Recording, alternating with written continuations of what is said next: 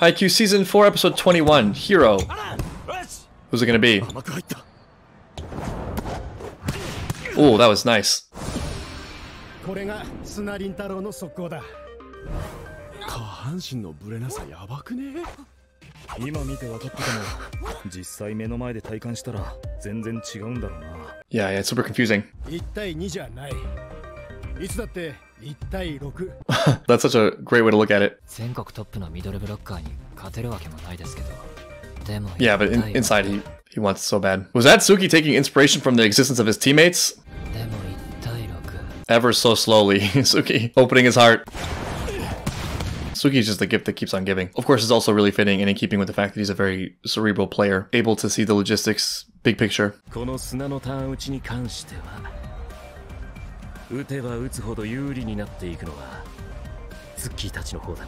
Yeah, it seems like they're finding their footing as they do. 毎回気持ちよく打たせてくれてありがとう。思った通り打ってくれてありがとうございます。Oh, damn. 機械かよ。Everyone's thrown around this robot insult. and it applies to no one. It's also really satisfying to see the other team get the brunt of Tsukki's snark. That's all. It's your moment. Yeah, he's just itching on the sidelines.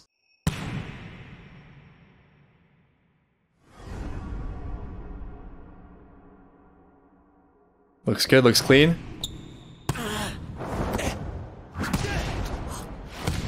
Oh no! Damn, I really wanted to catch a break. He's froze up. He was too focused on the serve. Didn't reset. That hurts. That was fast. Oh boy, there's gonna be some emotional aftermath of that one. でも自分とは違う人種だしって思ってでも自力でヒーローになった山口 Yeah, he's kind of the last one here. 俺もどっかで何か劇的な活躍ができるんじゃないかって一瞬だけでも I know his vision's blurring. 勘違いしてたんだな This is a hard one to shake off. お前がここぞってところでかっこよく決めるチャンスは 別に今日で終わりってわけじゃねえんだからなははい Yeah, especially after we win this game. 影山一本の一さ Kagama's just in the zone.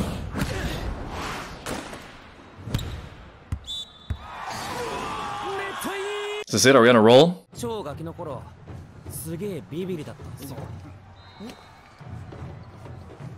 虫が怖い鳥が怖い三輪車が怖いお化けが怖い前世とかの話ガキの頃っつってんじゃないですか I feel like my childhood was a previous life. お邪魔してます2回見た Oh, Nishinori's grandpa was Mr. Roshi. 違う美女連れてた Except actually with girls, as opposed to getting pummeled. 試合中に饒舌な西野よ珍しい He's going somewhere. He's going somewhere with this. 怖いが懐かしいってなんだろうさあ凡人には分かんないでしょでもじいちゃんが言ったんすよ。怖がるのはもったいねえって。I don't know. I'm, I'm from the school of thought that finds it really hard to not be scared. And I think the solution for me, however limited it's been, is to focus not on the emotion, but on the action. I mean, fear, anxiety for me is just kind of a default. Maybe there are better ways. You know, maybe there are ways to eliminate fear. I'm sure there are actually. But in the interim, like a lot of things, I think it's just what you practice. And the more you practice doing the things you need to do despite fear, the easier it becomes and the less relevant it becomes. But just conceptually, one thing my father said to me once was that if you're really worried about something and that thing never happens, then all that worrying was just a waste of energy. And if you're really worried about something and it does happen, your worrying didn't prevent it, so it was a waste of energy. Fear, I think, is really useful as a survival mechanism to keep you out of things that will destroy you. But it has to be overcome in areas where it's not a life or death situation. For example, fear of embarrassment is something that should often be pushed through. Fear of failure pushed through, fear of rejection, etc. Judging by that brief look at Nishinoya's grandfather, he's not afraid of things like rejection at all. だなこの野郎 Time to face the fear. うまいから食ってみろ食わず嫌いしてたものを And it looks や amazing. っぱり嫌いだって確認すること上から行くな目をじっと見るな Wow, Gramps really throwing him into the deep end of the water. それでも怖かったらどうするのそんなの決まってんだろ助けてもらう Interesting. Nishinori's always the one to be that person for others. All these flashbacks. It's a waste to not learn something new.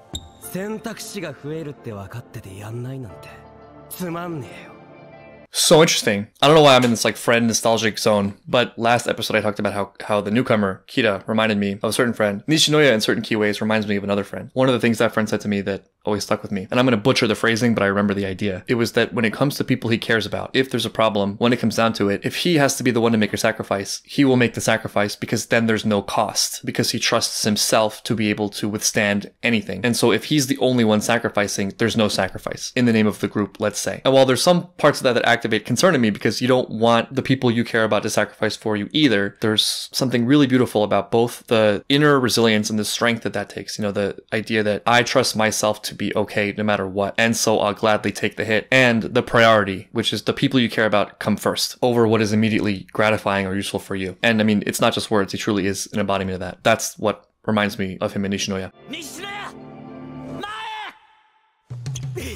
Nishinoya always willing to pick up the slack.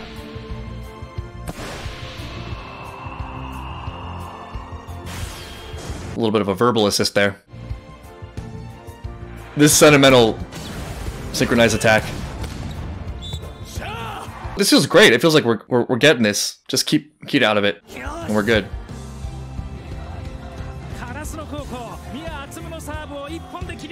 That's huge. And credit to him too for not like having a, a meltdown, which is, is, what I expected, which is what I would do in this situation. That's the power of having a, a group of teammates you just adore. Their opinion just means so much more. There you go. He got to be useful. Different kind of waterworks. Once again, Nishinoya and his, like, doing that for him, doing that for a teammate in a sense, you know, thinking about his emotions instead of himself. Man, we're going just deep into so many people.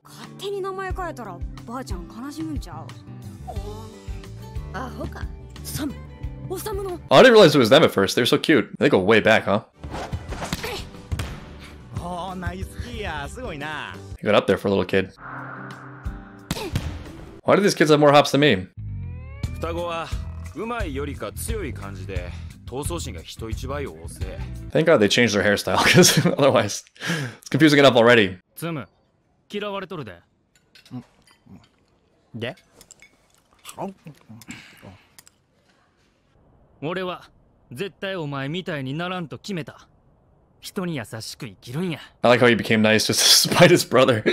Whatever gets you there. Many roads, one path. ちっこい頃から知っとる双子やったけど厚夢は時々怖いと思った他人に仲間に嫌われるってしんどいやんか I don't know exactly what it is, but I feel like part of it is, despite their feud and their rivalry, they get a lot of what they need from each other. The twins, despite their bickering, feel like each other's home base. My sister and I didn't always get along as kids, but looking back on it now, years later, there was something really important and formative for me, I think, as a person about spending so much time with her as a kid. We actually were just reminiscing about the fact that we didn't appreciate this certain era we had of life where we just spent a lot of time together. I've never had as much of a feeling of home warmth, let's say, as I did during that time. It just makes you more resilient. Having something to come back to, having just like a, a base is so important. It doesn't even have to be family or siblings necessarily. Like I just had that same thought with Karasuno. The fact that any of them can mess up and go to the sidelines and they, they just have this family and the fact that they have that at their disposal, it trumps the, the minor failures, it trumps the things that go wrong. It's a buffer or a baseline that you can bounce off of.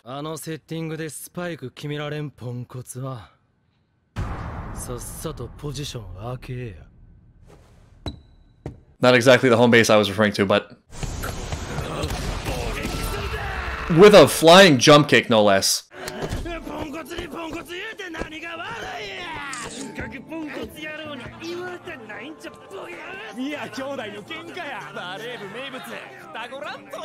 Uh, maybe somebody should step in. No, no. All right, let them have at it. Just back to normal. These two really know how to sibling. Imagine having a live-in rival. 奴らはきっと競うだけ強くなっていく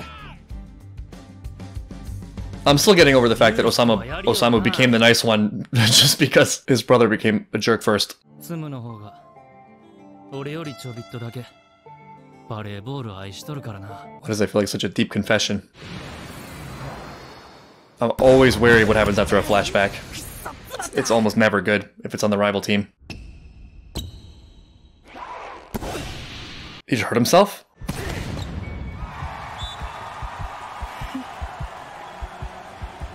調子者であったり時に勝ち気で高圧的でありながらスパイカーに対して誰より紳士で献身的だセッターの鏡だね That's really high praise in a show like Haikyuu where there's just a lot of amazing setters. 俺も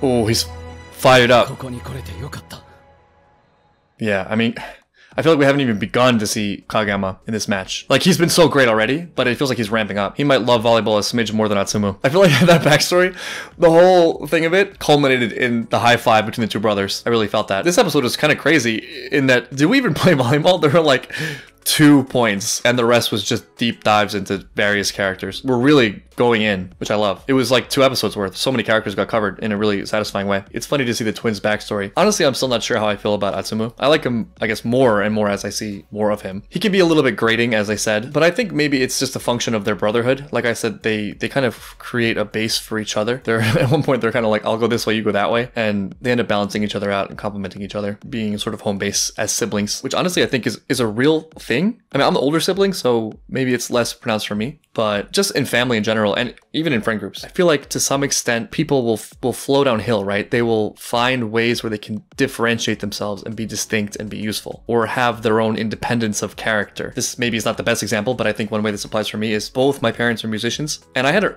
early interest in music, but I feel like there were just forces in my brain that pushed me away from it because I, I could never measure up to my parents in music. And there's this feeling of wanting to chart your own path, doing your own thing. And if you find a niche where it's like, oh, I'm, I'm actually good at this, and this is something that I can make a name for myself in that's interesting and unique, at least for me, that has a magnetic force. But maybe that's a function of the level of contrarian that you are. I just finished the show Succession, and not to spoil anything, but it reminds me of the son in the family who's like never gonna be his father, and how that ends up manifesting in all sorts of bizarre behavior for all the kids in that show, actually. What intrigues me most about what's to come following this episode is what happens to Kageyama. He's watching all this and he's admiring all this, and he's been in the zone the whole game. I don't think I've ever seen him be at this level, though. And we know who he is, we know what he's capable of, we know he has something next level. He has other gears that I'm just waiting, I'm waiting to see turned on.